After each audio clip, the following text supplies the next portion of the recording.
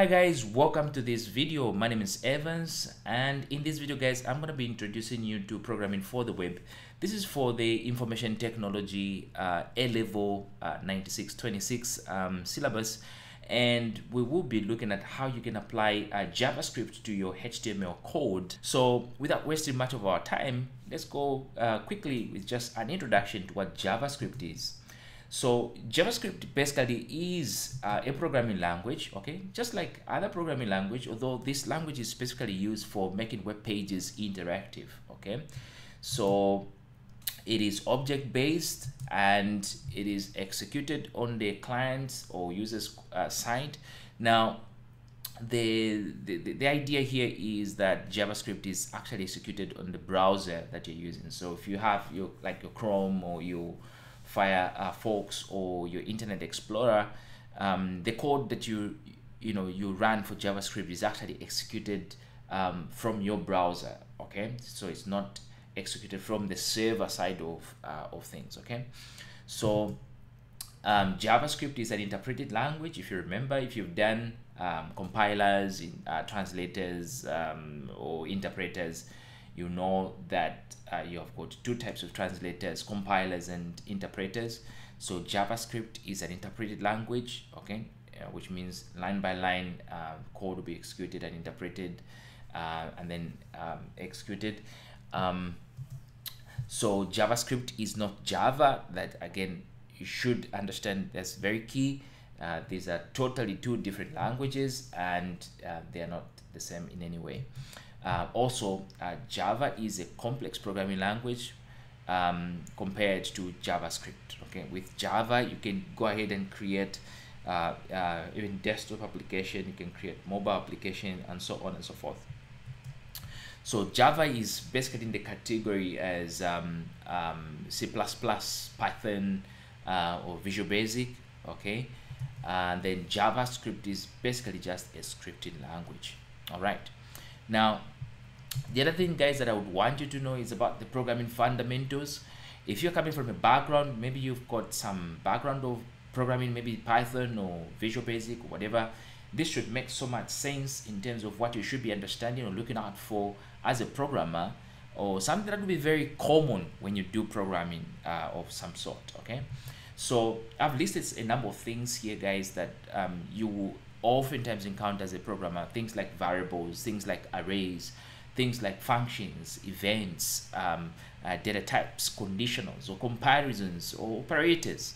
Okay, now these are things that are very common as a programmer.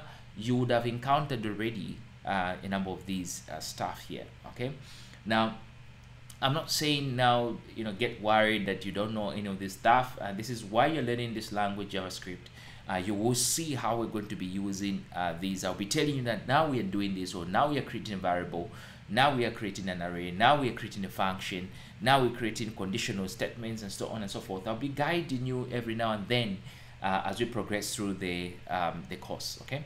So one thing guys that I would like to mention here is that i mean this is just the theory side of it. I'm going to be introducing you shortly um, to um, the programming side of it. We'll be doing more of problem solving and you know tackling and applying some of these concepts to real life concepts so that you really have a good understanding of what you're supposed to be um, to be to be doing. Okay, so um, what you would need to be able to run your JavaScript, of course, you need an updated uh, browser. Uh, it could be Chrome, could be Firefox, um, Internet Explorer, or even Safari uh, or Opera. Uh, but just make sure that you have an updated and uh, not not antivirus. yeah, you make sure you have an updated browser. Okay, you know sometimes when you hear updated, updated, updated, everybody what, what just comes to mind is antivirus, antivirus, antivirus. I don't know why. Maybe it's just because it's a word for a virus. It's COVID nineteen and so on and so forth. Okay, never mind. All right, so um, if you compare JavaScript and HTML, again, these are totally two, um, or they are two, totally two different languages. Let's put it that way. Yeah. So um, JavaScript and HTML are different languages. HTML is a markup language. Uh, JavaScript is actually a programming or scripting language. Um, JavaScript is written inside the HTML. So basically, you have your HTML um, um, giving you the structure of a web page and then your JavaScript is going to come and give you the behavior of your web page. Now, guys, if you remember from uh, the layers of um, a web page, uh, a web page is actually divided into three layers.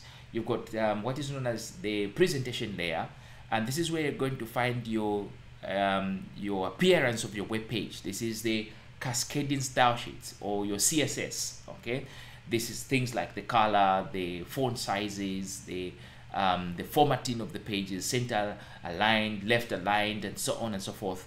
This is going to be found in the uh, presentation layer, which is the cascading style sheet that you're going to be creating. Um, the HTML is going to be found in the content layer. This is where your tables and your uh, your images, your videos, your audio, uh, your text, and all these other stuff is going to be found uh, in the content layer.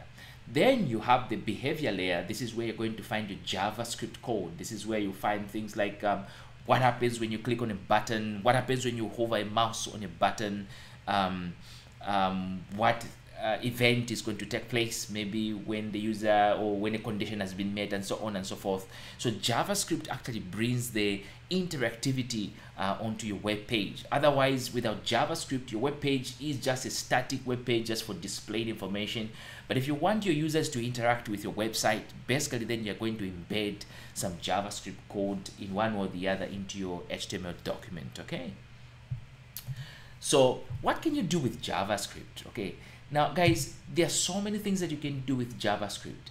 Uh, some of them is that you can create things like cookies um, uh, for your applications. Um, you can detect versions of browsers. Um, you can validate forms, for example, passwords and, and so on and so forth. Check the date formats maybe.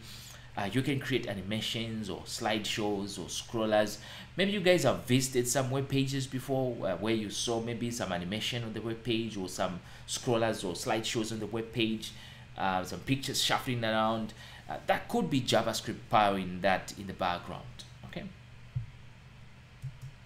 So basically, uh, when you talk about JavaScript, it is basically going to be embedded in the HTML uh, web page or in the HTML tags.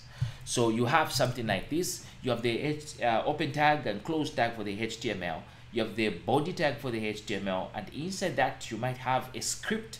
So I've put that in blue script, which means you're starting a JavaScript code. And what's going to come inside the script, this is going to be purely JavaScript. Okay. Now, um, this can come uh, either you know inside the body tag or it can even come after the body tag but before the html tag. Okay so um, that's that's fine. Um, so um, what i want to introduce you before i close this video guys uh, what i want to introduce to you is how you can print on the screen using javascript okay?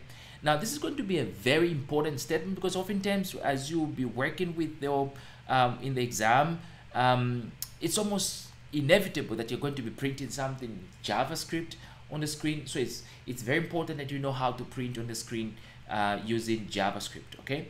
So there are basically two ways that you can use um, to print documents or to print uh, uh, whatever resource that or information you want to print on the screen. There are basically two ways that you can do that. Uh, one of the ways is you're going to use a, um, a function called um, document.write and um, this one basically is just going to you know take in some argument and you know just print it out as it is on the screen okay?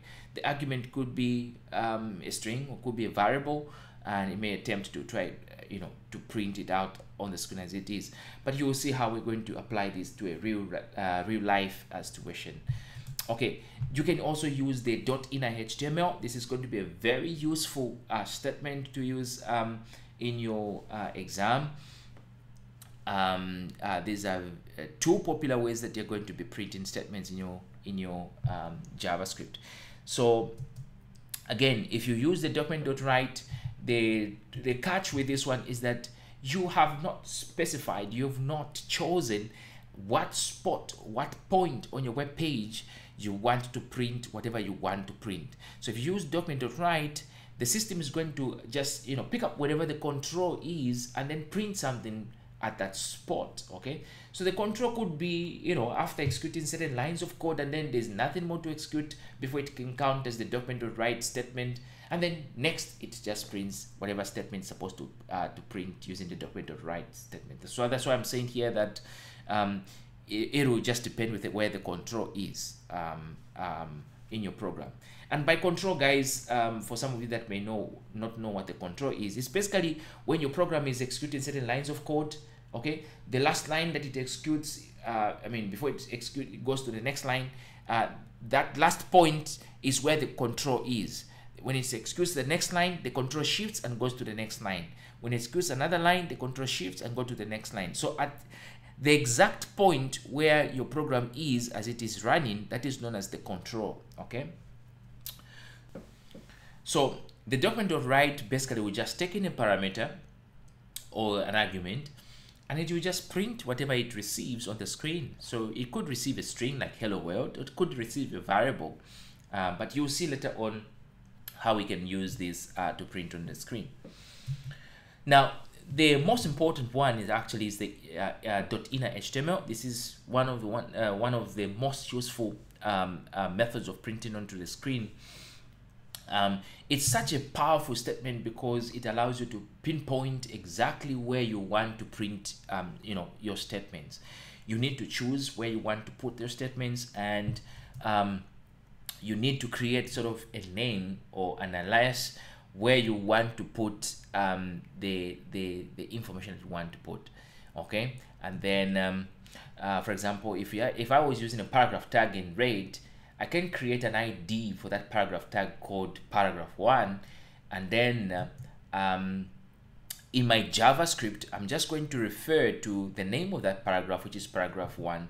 So I'll create a script something like this and then inside the script I'll just say document.get element by ID and then pass the name of the ID which I am I'm, I'm looking at. So get element by ID in other words say refer to that ID what is the ID paragraph one and then use the dot inner HTML at that spot can you allocate this text or this string called hello world? So what will happen is that where that paragraph one has been defined in my HTML it will pull from the JavaScript code hello world and print it where my um, paragraph tag is. Now this will make so much sense guys when we um, we actually write some code uh, and for this reason, um, let's let, us let us write some uh, some code so that we really have a good understanding. So I'm gonna just you know maybe I'm gonna I'm gonna start a new video and then uh, we'll put up just some questions and then we can look at how you can use um, the, um, the inner HTML uh, as well as the uh, document.write um, function to see how we can print on the screen. Alright guys, so join me shortly in the next video.